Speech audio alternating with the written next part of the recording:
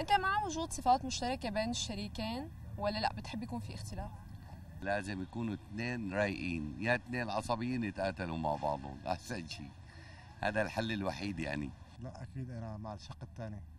في اختلاف تماما. ليش؟ يعني مشان أكيد الاثنين بيكملوا بعضهم. تماما يعني.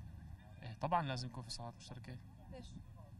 مشان يكون في نقاط تفاهم يعني بين الاثنين يعني. أكيد يعني الاختلاف أحيانا ما بيكون كثير شيء إيجابي يعني بيعمل آه، نفور أو بيعمل تضاد يعني. هلا ممكن يلتقوا بعدة شغلات على دائما الاختلاف يعني ما في اثنين بيتفقوا 100% تمام؟ آه، ممكن تتفقوا مثلا لحد معين مثلا 80% مثلا ممكن تتفقوا على سبيل المثال بالأكل آه، بال- بال- باللبس بال- بالطلعات بالفترات ويمكن يختلفوا بشغلات تانية مثلا. الاختلاف هو بيكون أحلى. ليش؟ بصير يعني تمازج بالأفكار بتصير أحلى الحياة.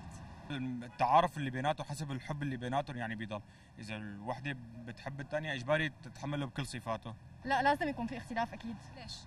يعني مشان نكمل بعض يعني إنك تكوني انت شريكك نفس الشيء فما بعرف ما بحسها ظابطه ابدا. ملل كثير بتسبب ملل. يعني إنك بدك يكون حدا عندك مختلف إجباري يعني عرفتي؟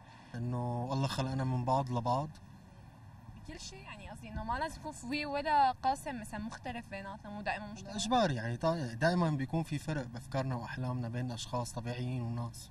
لا هلا يكون في اختلاف واحد أو اختلافين. المهم إنه أنا متأقلم مع هذا الاختلاف وهي متأقلمة مع هذا الاختلاف. يعني عرفتي إن كان موجود أو ما كان موجود إن كنت مع أو إن كنت ضد.